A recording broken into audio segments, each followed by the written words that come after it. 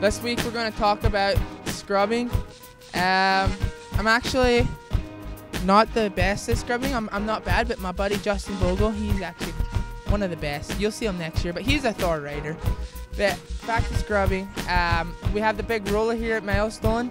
I mean, everybody kind of scrubs it, but the way I scrub it, it's kind of different. It's kind of like a butt scrub almost, you could see, because I go really fast up to the lip, and then I kind of just I lean the bike, make it start sliding a little bit, and, and my butt's really on the side of the, the seat, and I just angle the bike.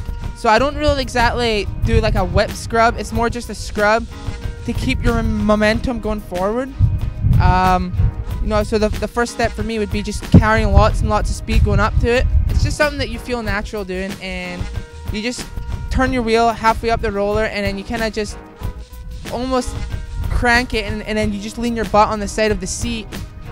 And uh, yeah, I mean, it's it's something that you have to practice and just get the feel for. It's really hard to explain, like I said. It's kind of like trying to explain a whip. It's just on how you feel, but uh, yeah, just uh, I just think carry lots of speed and just be prepared to over jump it because I mean that's what I do. I flatland, I flatland the jump. So yeah, just get uh, lots of speed, like I said, for the tenth million time. Uh, crank that handlebar, get your butt on the side of the seat, and uh, over jump it. That's all I have.